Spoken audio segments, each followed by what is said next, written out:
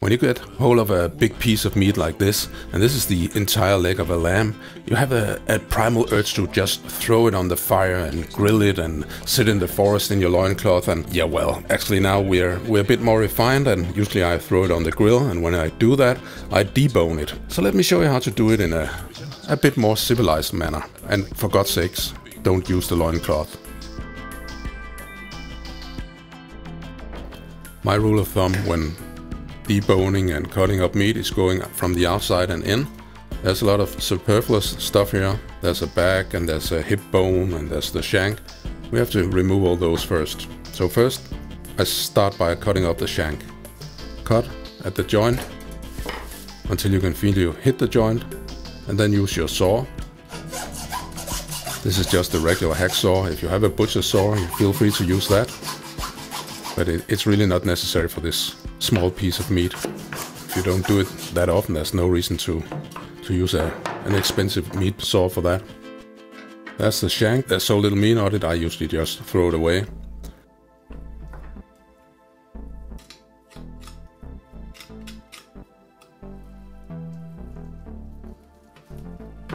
Now I cut off the, the backbone. Cut until you feel the bone and then saw. Now there's a little bit, bit of meat, then I use the knife again. That's a, it's very little meat, so I throw that away too. Now there's the regular piece of leg of lamb that you typically see in a vacuum pack in the freezer at the groceries. You start by feeling where the bone is. And you have to find where it's where it's closest to the to the surface. I can feel that that's right here. So we start by slicing and that's the inner side of the, the leg. And then you cut where you feel the, the bone. And then you follow the bone. Yeah, and I'm not a butcher, so any butchers, you don't have to comment that I do a, a hack job. I know it, but uh, it works.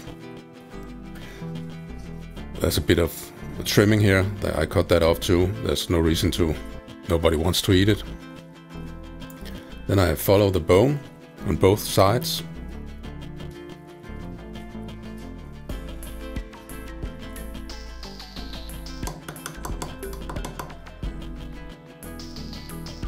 The bone is here and now I'm at it and then I go on each side. And I do it a bit slowly.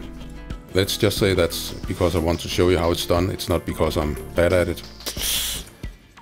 Well, I cut about one and a, or a half centimeter at a time because you have to be careful not to cut over too much of the muscle. A leg of lamb will fall completely apart if you do that. Now the, the bone is slowly revealing itself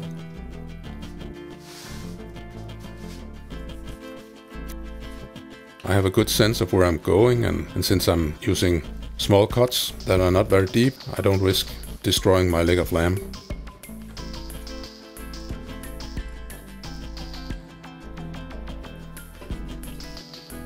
Simply feel your way, use your fingers on the in the meat and feel the bone and then cut outside it. Not your fingers.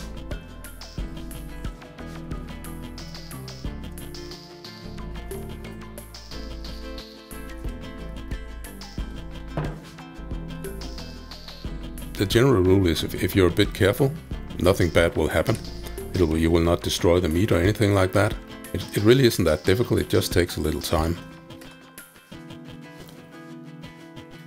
now I'm getting the payoff of all those careful cuts.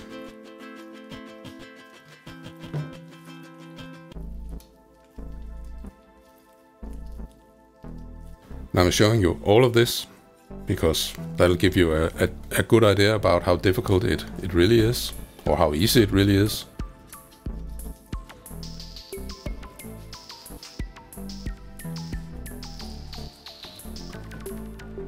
And again, the leg of lamb is made of a, a lot of small muscles, so we have to be careful how we cut, because if we cut those muscles, then, uh, then it'll disintegrate. There's, there'll be nothing to hold it together when you have deboned it.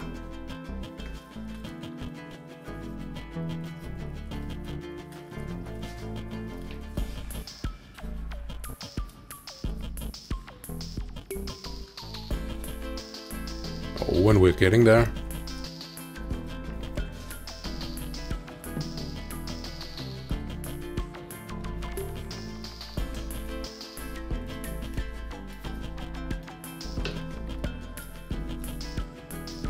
And that's the last of it.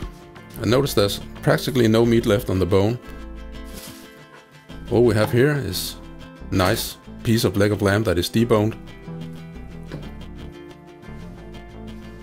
It's still a bit chunky and uneven, so I butterfly it. I cut into the, the middle of the meat. I want it to be evenly thick all over. The butterflying is, it's, imagine it's a pair of wings that opens up. That's why it's called butterflying. And you have some parts that are especially thick, you can just cut into them and make some incisions. If it's not evenly thick all over, then it won't be baked or fried at the same time. Then we'll have some parts that are red and some parts that are raw and some that is that's gray.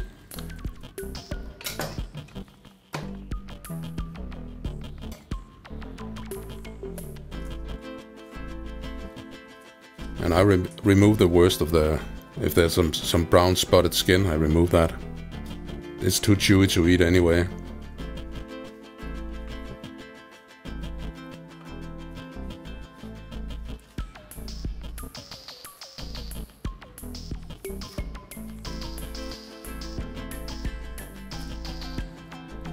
Any fat, I leave that on, but the, the skin, I take it off.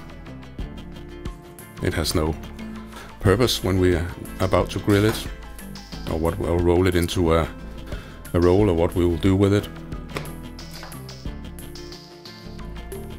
It's still too thick, this. So I, I butterfly this once more. This is a big steak of lamb.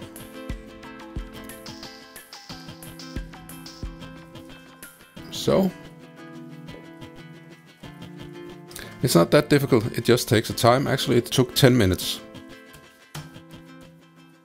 And you can find the list of ingredients and the recipe on Kvalifood.